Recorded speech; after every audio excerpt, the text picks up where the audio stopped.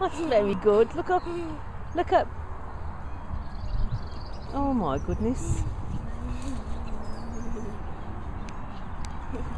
A rabbit trainer? Is that what you are? Yeah.